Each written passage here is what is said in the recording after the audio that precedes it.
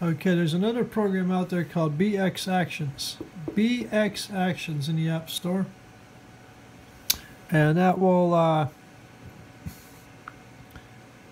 let you set the action for the Bixby button as well. Okay, standard action is disabled. And you can disable it, enable it. Home, back, camera, launch application, there's a bunch of things here you can do. So this is another one for your Bixby button called BX Actions. And you can find that in the old Google Play Store. B-X-A-C-T-I-O-N-S.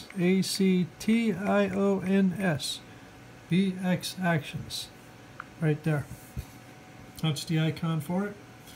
That will let you disable or remap the Bixby button for free. One of the paid apps just allows you to disable it. Another free app just allows you to remap it, but it's a little glitchy.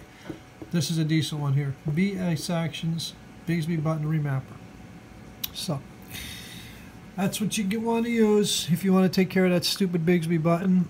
What's nice, of course, just a quick uninstall. Once it's uninstalled, you go ahead and use your Bixby as normal. BX Actions. That's it.